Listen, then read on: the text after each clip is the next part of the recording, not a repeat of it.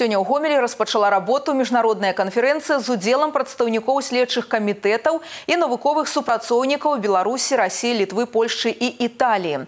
На працягу двух дзён яны будуць абмяркоўваць шляхі ўдасканальвання дасудовай вытворчасці ў крымінальным працэсе. Нашы корэспандэнты пацікавіліся агучанымі тэмамі.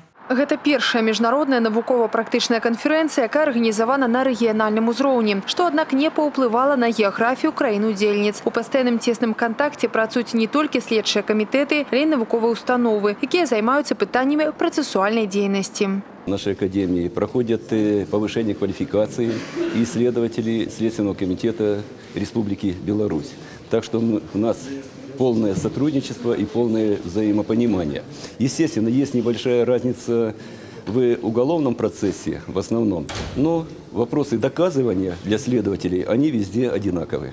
Пытанні, якія плануецца разгледзець падчас работы канферэнцыі, тычацца бадай усіх сфер дзейнасці следчых камітэтаў. Прымяненне методыкі заахвочвання абвінавачваемых, удзел адвакатаў на стадыі папярэдняга расследавання, супрадзенне тэрарызму, ацэнка сацыяльнай небяспекі незаконнай прадпрымальніцкай дзейнасці, асобным радком барацьба з карупцыяй. Сярод праблемных момантаў арганізацыя абароны людзей, якія паведамляюць аб такіх фактах. Для таго, каб выпрацаваць дзейсны механізм, літве, напрыклад, спатрэбілася амаль 10 гадоў.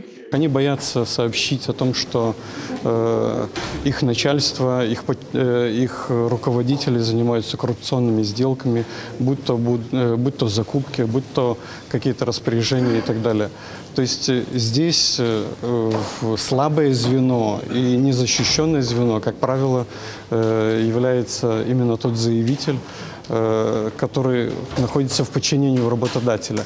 Сярод агучаных прапаноў стварэнне міжнароднага цэнтра рэгулявання сітуацыі ў сферы незаконнага абароту наркотыкаў і псіхатропных рэчываў. Гэта дазволіць не толькі больш эфектыўна змагацца з небяспечнай з'явай, але прагназаваць час з'яўлення новых наркотыкаў у канкрэтных краінах. Я думаю, что такой обмен э, опытом, обмен мнениями по наиболее актуальным теоретическим проблемам, касающимся развития э, уголовного процесса в стадии предварительного расследования – Э, будет взаимовыгодным и полезным. Станоўчы ўплыў гомельская канферэнцыя павінна аказаць не толькі на дзейнасць следчых камітэтаў. Сярод ужо агучаных вынікаў удасканальвання працэсу падрыхтоўкі будучых юрыстаў у вышэйшых навучальных установах. Напрыклад, у гомельскім дзяржаўным універсітэце, які разам з управленнем следчага камітэта па гомельскай вобласці і абласным аб'яднаннем саюза следчых з'яўляецца адным з арганізатараў канферэнцыі. Эта конференция также будет очень полезна и для соединения ученых и практиков.